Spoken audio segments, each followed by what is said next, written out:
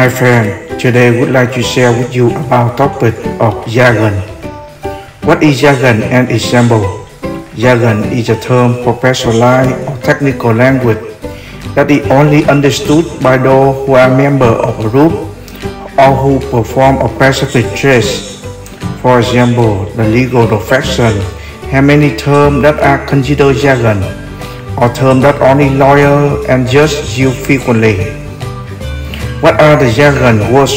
Jargon literary term that is defined as the specific phrase and words in a particular situation, profession, or case. The specialized terms are used to convey hidden meaning, accepted and understood in the field. Jargon examples are found in literary and non-literary pieces of writing. What is jargon used for? Jargon is a specific type of language used by a particular group or profession.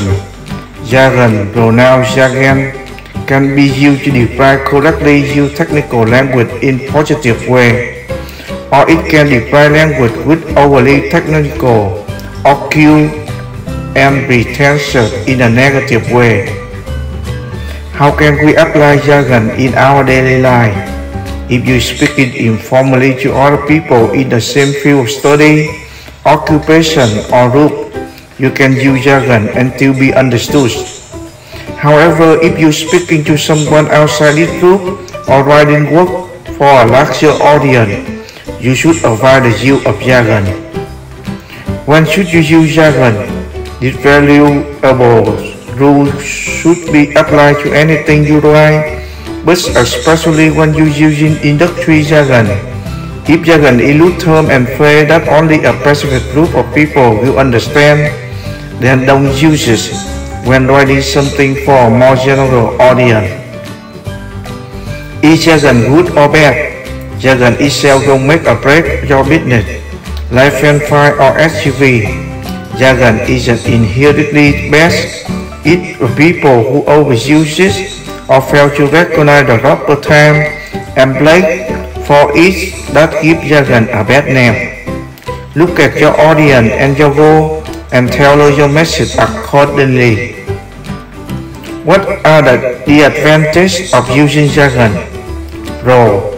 Let you speak in a shorthand with others who know what you're talking about and therefore reduce time needed to communicate with folk who don't need explanation con other outside industry activity that don't know what you're talking about and they may be confused, feel ignorant.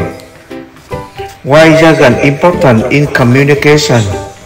Jargon words I mean to enhance communication by simplifying a particular concept. This works when someone involved in, in conversation is aware of the word meaning to someone who isn't fluent, however it can be seen as a technical noteworthy. Jargon can waste time and money. How does jargon affect the reader? Jargon may be a barrier to communication in that it not necessarily familiar to individuals outside of that group or field. In the above example, the use of jargon doesn't increase the reader understanding but it does make the writer appear like an expert on the issue. Why is jargon in legal communication harmful? Why is jargon in legal communication harmful? It can be harmful because there are people who don't know or barely learning about a legal term. Why do you think company, the government, and others have resisted put agreement and legal information in simple terms? How does jargon affect communication? Jargon interfere with the flow of communication in three different ways. By blocking it up, by slowing it down, and by muddying the idea you are trying to communicate. When you use jargon, knowingly or unknowingly, you are signaling that you only want to reach an audience of people who already understand the term. How do you overcome jargon barrier in communication? Overcoming language barrier. Number one, you plan language. Number two, find reliable translation service. Number 3. Enlist interpreter.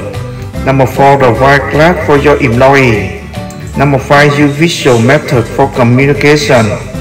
Number 6. Use practice. Number 7. Be respectful. Remember subscribe to see the next video. Thank you.